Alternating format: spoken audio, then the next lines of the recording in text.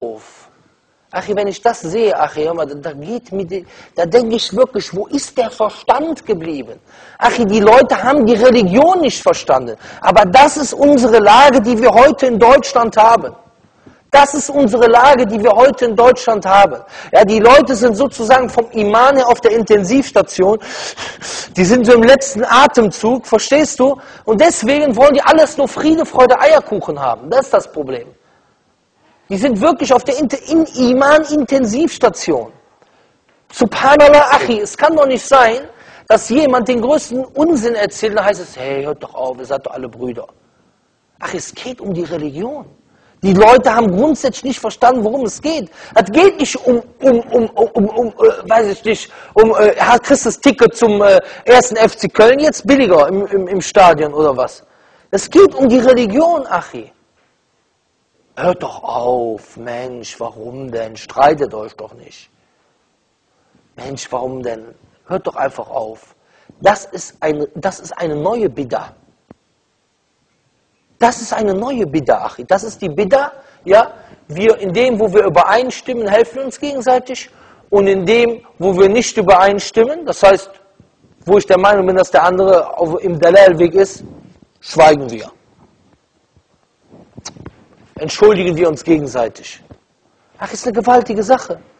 Wie weit soll das gehen? Demnächst kommt irgendwie, kommt der Nächste, kommt jetzt demnächst, erzählt ja, Erbsünde äh, ist im Islam, gibt es im Islam. Stell dir vor, ich stehe jetzt hier, ich sage jetzt, Leute, ihr müsst wissen, die Erbsünde gibt es doch im Islam. Beweis, mal gucken, gibt's, vielleicht finde ich irgendeinen so verdrehten Beweis, macht mal. Ja, aber das passt nicht zur Erbsünde, sondern... Äh, Hä? Wie bitte? Ja, okay, hast du eigentlich recht, ja genau. Wer also etwa eine schlechte Tat einführt, so hat er die schlechte Tat auf sich und die, die dem folgen. Ohne dass, aber eigentlich ist das, ja, warte mal, es gibt bestimmt was Besseres. Zum Beispiel, der kommt einfach so mit Hautfarbe oder so. Ja, das wird ja auch vererbt. Genau die schlechten Taten werden auch vererbt. Irgend so ein Blödsinn, ja. Es gibt ja nun mal im Islam keine Erbsünde, deswegen finde ich auch jetzt keinen Beweis dafür, Alhamdulillah. Aber verstehst du? So, da sage ich jetzt ja, ähm, die Erbsünde gibt es auch im Islam. Das heißt, wenn dein Vater eine Sünde gemacht hat, wirst du auch bestraft. Da kommt jetzt jemand und sagt, ja, äh, schreib dich an, Pierre Vogel, du hast da und da das und das gesagt. Kein, kein Kommentar. Drei Monate kein Kommentar. Was macht er? Dann macht er ein Video, sagt ja hier, äh, Pierre Vogel erzählt, es gibt im Islam die Erbsünde.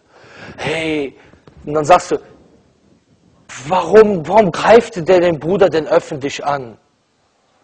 Mensch, ist doch alles nicht so schlimm. Der hat doch nur gesagt, gibt Erbsünde im Islam. Mensch, warum redet ihr? Mensch, habt euch doch alle lieb. Hört doch einfach auf. Warum? Was soll das denn alles? Mensch, müsst ihr euch denn gegenseitig angreifen? Und dann sage ich danach, du hast mich öffentlich angegriffen, aber ich verzeihe dir für Allah. Naja, das ist ein, Insi das ist ein Insiderwitz. der, ist für, der ist für Insider. Der ist für Insider. Du, du hast ihm dann geholfen, dass er den Fehler repariert hat und dann sagt er, ich verzeihe dir für Allah, dass du mich öffentlich angegriffen hast, dass du öffentlich meinen Fehler widerlegt hast. Sufyan al-Thawri, der ging an einem Mann vorbei, der ging an einem Mann vorbei, bis er der gesagt hat, Achi, so ist unsere Religion aufgebaut. Unsere Religion, jeder Hadith, da hat einen Isnad, Achi, da wird geguckt, wer ist diese Person, die das erzählt? Und was erzählt die? Da wird geguckt, was wird erzählt. Die ganze Religion ist so. So ist die ganze Religion aufgebaut. Ach, ich nehme dir irgendein Buch daraus von den ganzen Hadith. Die ganze Religion ist aufgebaut, zu gucken, wer erzählt es? Was ist die Lage von dem, der das erzählt? Und was erzählt er? Wenn der Unsinn erzählt, wird nicht angenommen. Sufyan al-Thawri, der geht an einem Mann vorbei, da sagt er, Kadhab, sagt er, Lügner, sagt er über diese Person. Lügner, Kazzab, sagt er. Und dann sagt er, Wallahi, لو أنه, لو أنه لا يحل لي أن أسكت لا سكت. Wenn es mir nicht, wenn es mir erlaubt wäre zu schweigen, sagt er, wenn es mir erlaubt wäre zu schweigen, ich würde schweigen. Wird er sagen. Aber ist ihm nicht erlaubt zu sagen. Warum? Weil er muss die Leute warnen vor dem Lügner. Er muss die Leute warnen vor dem Lügner, weil dieser Typ zum Beispiel Unsinn erzählt in der Religion und Lügen erzählt.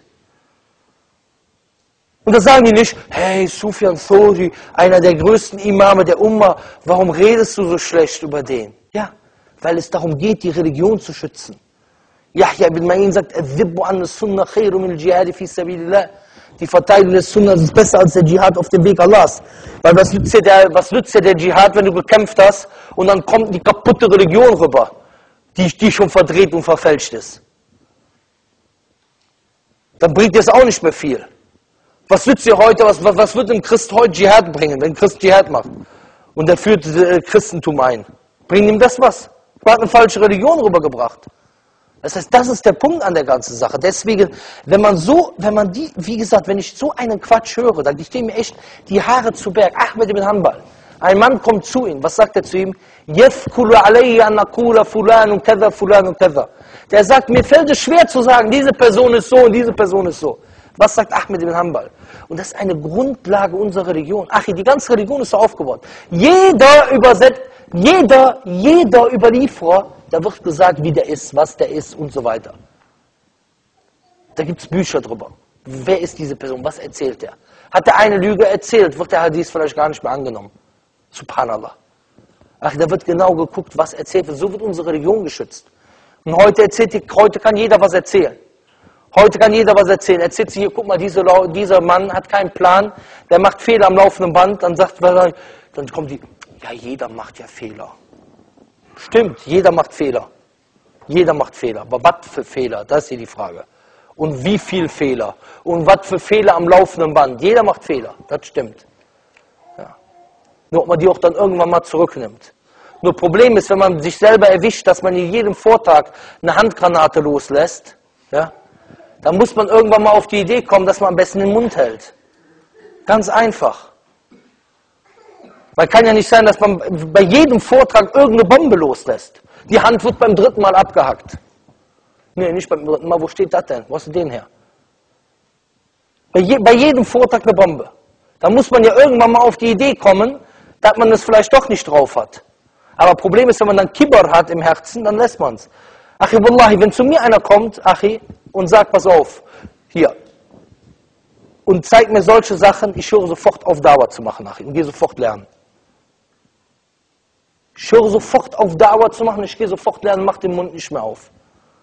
Glaub es mir. Aber das ist das Problem, was wir heute haben, Achi. Subhanallah.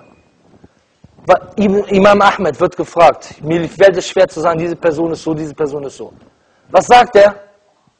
إذا سكت أنت وسكت أنا فكيف يعلم الجاهل السقيم من الصحيح Wenn ich schweige und wenn du schweigst, wie soll derjenige, der unwissend ist, wissen, was richtig, was falsch ist? Was gesund ist und was falsch ist, was krank ist? Wie soll das wissen? Ahmed ibn Hanbal, da kommt jemand zu ihm, sagt zu ihm, Ar-Rajul, ja, sagt Ar-Rajul, Yasum wa yusalli wa yataqif, ahabba ilayk, au yatakallam fi ahli al-Bidah. Der sagt, was ist lieber, wisst ihr lieber, Ahmed ibn Hanbal? Ein Mann, der fastet, der betet, der Etikaf macht, Etikaf, also der betet freiwillig, der fastet freiwillig, der macht Etikaf, übernachtet in der Moschee, überbringt den ganzen Tag im Gottesdienst oder das Reden über Alul Bidah, um die Leute zu warnen. Was sagt Ahmed im Hanbal? إذا قام وصلى واعتقف فإنما هو لنفسه wenn er betet und fastet, äh, wenn, er be wenn er steht und betet und Etikaf macht, sagt, das ist für ihn selber. وإذا تكلم في آل البدع فإنه هو للمسلمين وذلك أفضل aber wenn er über die Alul Bid'a redet, dann ist das für die Muslime, für die ganze Umma und das ist besser. Das hat Ahmed ibn Hanbal, rahimullah. Ja, und wie gesagt, da gibt es so viele Aussagen, die kannst du gar nicht alle aufzählen. So ist die ganze Religion aufgebaut. So ist die ganze Religion aufgebaut. Da müsstest du sagen, die haben alle nur gelästert. Die ganzen Bücher von Jarwa Tadil geht es nur um bestimmte Personen.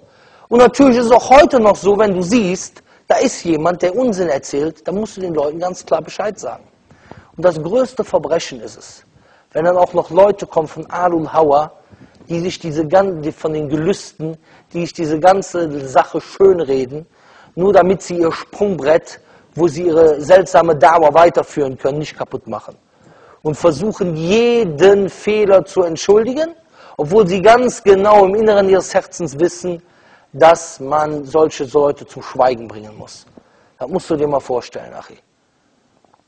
Und dann muss ich mir so einen Schwachsinn von irgendwelchen Brüdern anhören, die keine Ahnung von Islam haben.